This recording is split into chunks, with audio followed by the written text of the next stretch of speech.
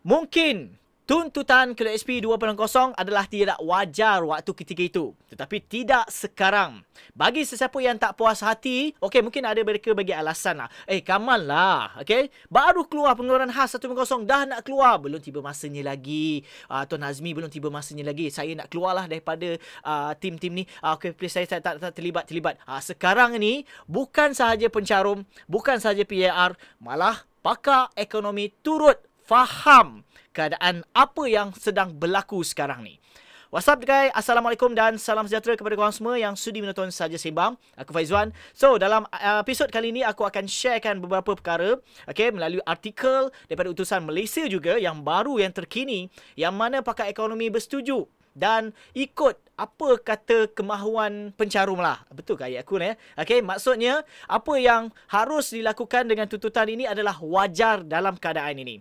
Mungkin waktu ketika itu banyak dapat tentangan. Okay, uh, sebab mereka ini tak setuju lah baru keluar. Tapi mereka PJR ni tahu situasi ini. Proses ini bukannya senang. Proses ini ambil masa yang lama. So sebab itulah kalau kita tengok drag drag lama ambil masa ambil masa dah tepat pada masanya dengan apa yang sedang berlaku. Dengan orang kata urut-urut berita kemelesetan ini akan berlaku 2023 apa persediaan kita dan sebagainya. Pakar ekonomi surut serta mendapat bahangnya di sini. Tapi sebelum tu bagi korang yang masih lagi belum subscribe ke channel ini please klik button subscribe dan jangan lupa share dan juga like video ini guys. So aku akan sharekan dengan Okay, artikel daripada utusan Malaysia ini merupakan uh, apa yang dimaklumkan oleh pakar ekonomi yang merupakan pensyarah okay, di Melaka. So, jom kita tengok paparan ini. Okay, benarkan sekali lagi pengeluaran KSP. Okay, so kalau kita tengok dekat sini, uh, Petaling Jaya, kerajaan digesa membenarkan sekali lagi pengeluaran khas kumpulan wang simpanan pekerja sebanyak RM10,000 pada bajet 2023 yang akan dibentangkan Jumaat ini. Okay, uh, rayuan itu turut diluahkan melalui sosial media milik Menteri Kewangan Tengku Zafrul, okey, pensyarah kanan Jabatan Ekonomi dan Kewangan Universiti Teknologi Mara UiTM Melaka, Dr. Muhammad Idham Muhammad Razak berkata, masih ramai rakyat berharap pengeluaran KSP dibenarkan meskipun terdapat tentangan daripada segelintir pihak. Okey, menurutnya nanti aku akan baca sikit saja sebab aku nak fokuskan satu video ni aku akan tunjuk kepada korang. Menurutnya kerajaan perlu memikirkan bebanan yang ditanggung rakyat selepas kenaikan OPR sebanyak 3 kali berturut-turut dari 1.75 sehingga 2.25% di samping inflasi yang dihadapi sehingga membawa kepada kenaikan kos sara hidup. Ini tak termasuk lagi mereka yang tertonggak yang belum disettlekan lagi.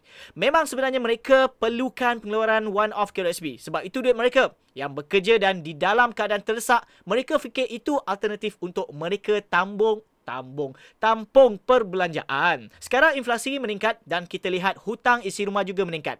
Ekoran terbeban dari segi pinjaman akibat kenaikan OPR yang dikenakan pihak bank. Okey, ini sedikit sebanyak yang aku boleh share. Ini daripada pakar kata ekonomi dan juga kewangan. Okey, yang merupakan lebih kata financial expert lah. Okey, uh, tapi bukan financial expert yang bukan doktor tu. Uh, Okey, ini doktor lain. Okey, so ini dia maklumkan dan memberi sokongan juga kepada pencarum mewakili kita jugalah sebab keadaan sekarang ni berbeza.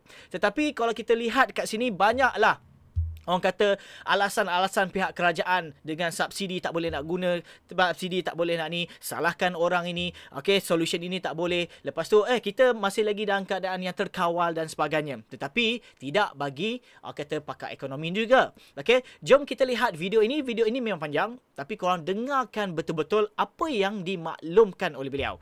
Kalau tengok macam drag lama sangat, nanti aku akan cut teruslah. Okey, jom kita tengok paparan ini. Okey, ini merupakan pen pendapat dan pandangan beliau melalui kajian yang beliau lakukan. Jom kita tengok. Ekonomi sudah recover, sudah pulih. Saya rasa ini sesuatu yang tidak tepat sama sekali. Malah boleh saya katakan mereka yang berkata ini mereka bermimpi. Sebab apa? Ekonomi masih belum recover. Kita kata GDP ekonomi belum recover. Kita tengok data pasaran buruh. Mereka yang hilang kerja ketika ini jumlah mereka masih lebih kurang 17% lagi tinggi sebelum pre-COVID. Not yet recovered. GDP per kapita untuk negeri-negeri yang miskin, contohnya ataupun yang apa tidak membangun Sabah, Kelantan, masih ke belakang.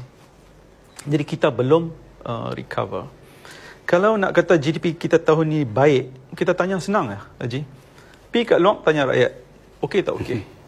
Mereka kata bang naik, pendapatan berkurangan. Kuasa beli berkurangan. Berkurang.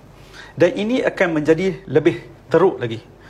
Untuk menyelesaikan suatu masalah, kita harus jujur dan akur apa yang berlaku. Ini akan situasi kepada rakyat akan menjadi lebih buruk.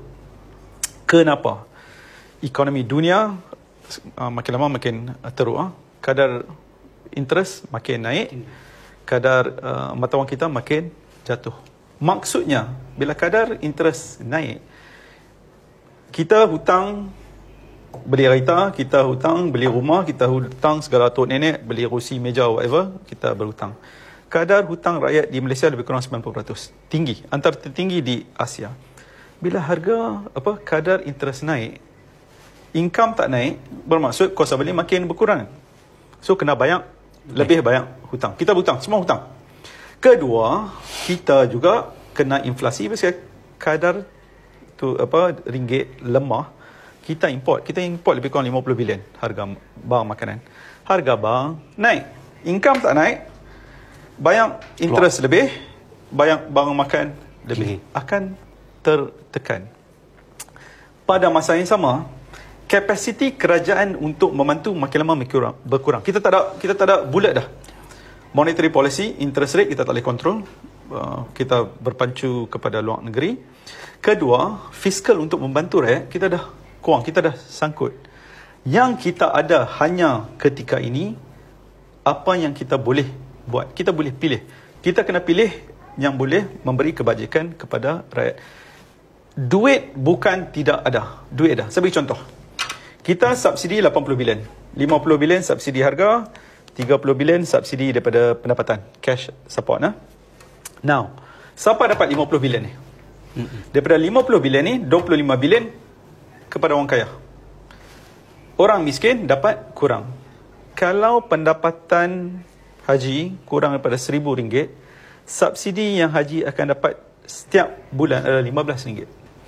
Kalau pendapatan haji lebih daripada RM10,000, subsidi yang haji akan dapat lebih kurang RM1,000.